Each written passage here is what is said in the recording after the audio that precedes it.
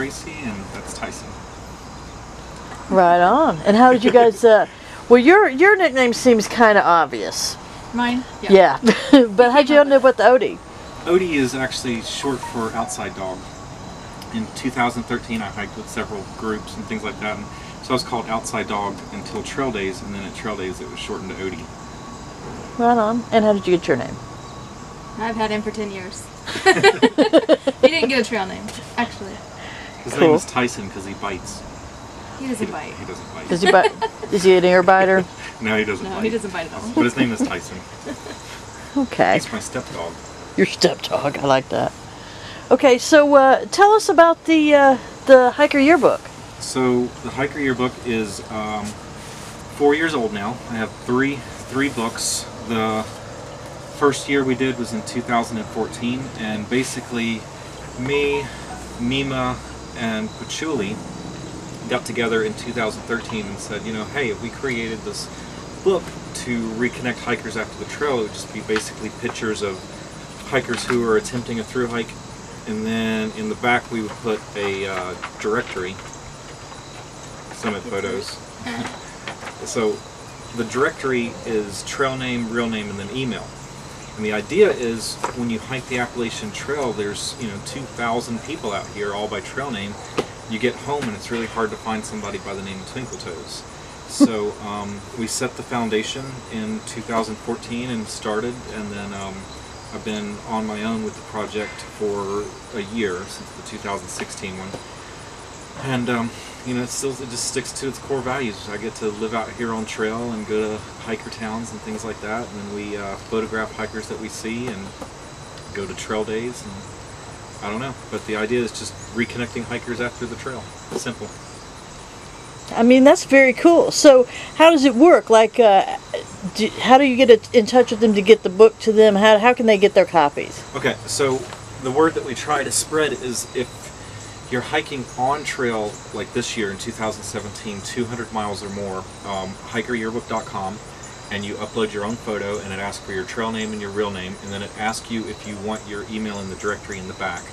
And um, that's, you know, like I said, that's the point of the book to get everybody's contact information out there. But um, and then same thing, hikeryearbook.com. We sell them for $59. They uh, we are trying to break even on this project, but um, you know, like I say, it's still it's still a young project. But um, and then we give them out for free to hostels and things like that along the way.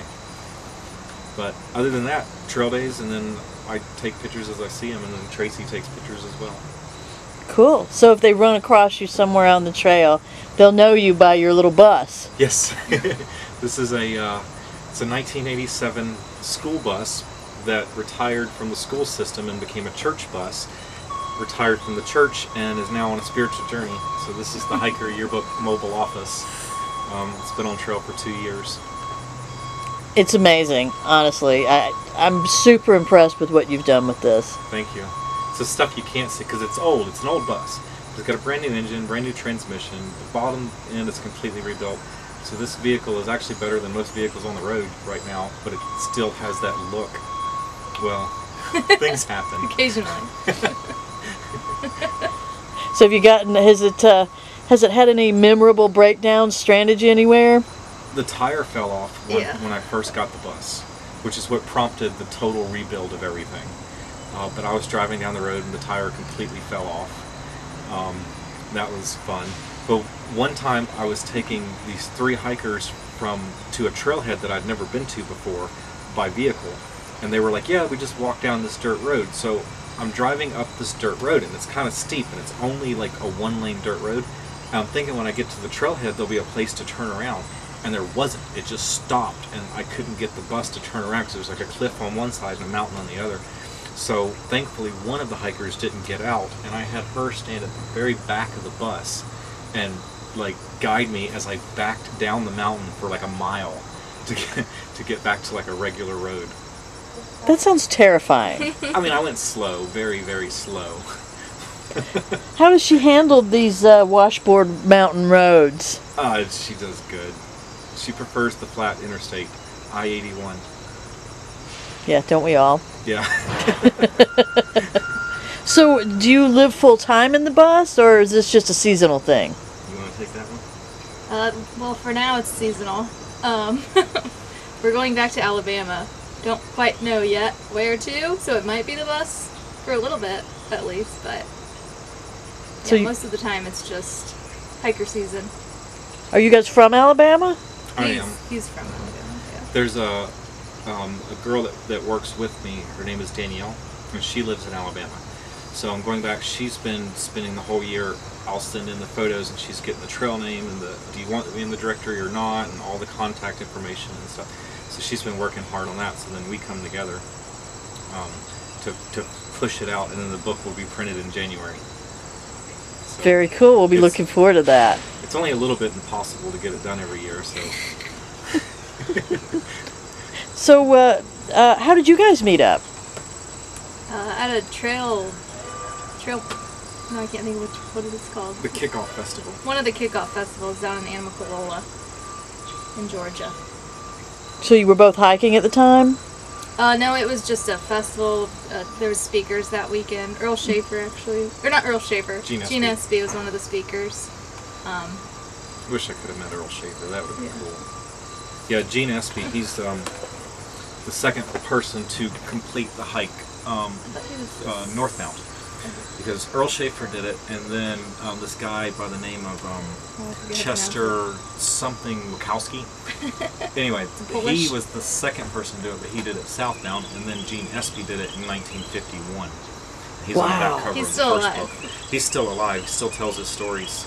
So he was at the kickoff festival. He's like my idol. Every time I see him, I just, I just can't believe it. You know.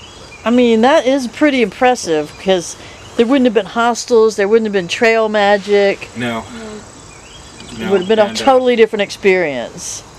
he one of uh, Gene Espy's stories that he tells is probably the first trail magic. Um, I'm, I'm sure Earl Shaffer got some too, but this is the first one that I've ever heard of on trail, um, where Gene Espy went into Damascus, Virginia, and he had ordered um, just a cheeseburger and a water because he didn't want to spend a lot of money, and um, the uh, a man came over and started talking to him and everything and said, you know, what are you doing with your beard like that and you got your backpack down here on the floor? And Gene said, I'm walking all the way to Maine or whatever. And He said, okay. So he left. And then Gene Espy goes to pay for his meal and he found out that the guy he was talking to was actually the sheriff of Damascus and that he had paid for all of his food for him. You know? So And so a tradition was born. Yeah. Feed the hikers or they won't go away. Or maybe they will. Feed them, they won't go away. Speaking of trail magic, uh, do you guys have any uh, favorite trail angels? Oh gosh. Oh my God, Trail Well- Angel Mary, Miss Janet. Um, there's the hot dog people. Um, the ones that, that you jump off the bridge. Don't jump Oh, off the bridge, oh. but the place Yeah, that you jump off the bridge. I was thinking, Wait, what bridge is this? Where? is it James? Is it James? It's, uh, Just south of Glencliff, New. It's in New Hampshire. Mm-hmm. It's not the James River foot. Don't jump off the footbridge, the James River footbridge. that's that one's bad. okay. That's it's dangerous. Don't or do Peace that, Rock Don't, anymore. don't jump off the Peace Rock. either. Don't jump off stuff. jump off things. jump off He jumps up a lot. Too much. Um, oh my God, there's just there's so many so many trail angels that just give themselves to the trail. Um, like the, there's one guy named the Omelet Man, and he actually comes out every This is his single year. day, Yeah. every day, and he's there for about 12 hours a day, and he cooks omelets, unlimited eggs, all this food. I Um, think the record's like 25 eggs in an omelet. And that's just the eggs. Then he puts ham, onion, pepper. yeah, I don't know how they ate it. and then the hostel owners themselves are trail angels because they don't you can't make money running a hostel. They all, they all find that out. So um, you know doc spice here at um, angels rest um, honey and bear the cabin in andover i asked him he's in his upper 80s i said why did you start a hostel and everything? He said well all my friends that were getting old were just getting old and dying so i wanted to get old and have something around me to do. So that, and that's that's it. Like he doesn't care about anything else except for just taking care of the hikers and you know so the angels are the heartbeat of the trail Right on. Well, I mean, you know, I think it's easy to, to be good to hikers because generally speaking, you guys are such a, a friendly, kind hearted bunch. except when drunk Oh. Which, yeah, which is why we don't have that here. yeah. I'd say 99% of the hikers are great people. Every now and again, you're going to get one guy, you know, and um, that that's just part because the the trail isn't immune to anything. There's all types of people are out here, but I think that it does generally make you a better person. Honestly, just being out here in this community. I agree. I agree. So, uh, other than uh, the older gentleman there, what was his name? Gene Espy. Other than Gene, do you have any uh, favorite trail characters that you've met up with? Oh, see, Baltimore Jack was one of my favorites. Um, I knew him for a while, and um, uh, Mala. Let's see, there's um, yeah, the Ice Cream Man, Bill Ackerly. Um, uh, so many just just legends that are just part of the trail. This guy named Rock Ocean, you know, he's young and he drives up and down the trail. There's so many just this amazing stories. You hear about people coming out here and, and doing the trail with one leg. Bi- Bionic woman had a prosthesis.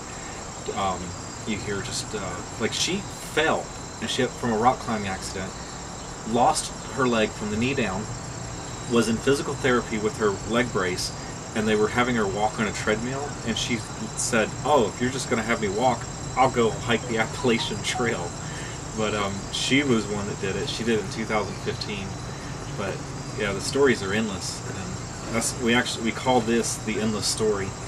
And um, the way that because I don't put a lot of words in it, but um, the way that you actually read this book is you put it in the hands of a hiker that hiked that year, and the next thing they know, they'll be pointing and they'll be like, like, oh my God, like Pinky, that's the one that we went to that one town and that one thing happened, and oh, over here, that's when we did this and did that. So I guarantee a million memories in every book, for sure. It's the never-ending story. Never-ending story. The, the trail is about the people. It is. We are just blessed and lucky that we're allowed to be out here doing this. Like, it's, in, it's incredible to, to be able to walk up and down this trail and to drive up and down this trail and hang out at different places and just welcomed into people's homes. Um, we're not homeless, we're locationally independent. and if I had a job, I would never be able to afford to do this. Peppa had the property and um, there was the trailer on it and things like that, but my God, coming back only two years later, there's the bathhouse and the bunkhouse and the and the little kitchenette downstairs and the laundry and the Wi-Fi. It's uh, this place is it, it just popped out of nowhere, and this is this is a like and it's in the perfect spot for the, the hikers to come in. I highly recommend Angel's Rest. It's in Pearisburg, Virginia, which is one of my favorite little towns. So, um, and you can actually see Angel's Rest Hostel from Yeah, Angel's which I Rest. just found on there. I have heard that, but of course I'm not a hiker, so I, I don't I don't think I've ever seen yeah, it. there's Yeah. There's like an outcropping where you can see down, and she said you can see this mural now. That's the the rumor. Yeah. That's the rumor. I, don't imagine know. you might need some binoculars or eagle eye sight, but I have to get up there with a zoom lens one day. there you go. Uh-huh. Well, I mean, if you could drop me by helicopter. I know, okay. Yeah, this this needs to be one of those Start places that's a stop for even the ones that are just driving through. This is this is a this is a good one. Very have cool. Day pass, it looked like. Just hang out. What's the day pass? Oh, the day pass is uh, for five bucks. You could come and use the shower and the laundry and hang out Yeah. and watch TV or whatever, deal. hang out on the porch. Shower and laundry for five dollars. Wow. I mean, yeah, seems like a deal to me. That is. The only the only way to get shower and laundry for five dollars is to take a five dollar shower with, With your clothes on. No, he's living. He living an uses extroverted life. He doesn't know the meaning of the label. I'm stuck in an extroverted life. Woohoo! Into the tree. Get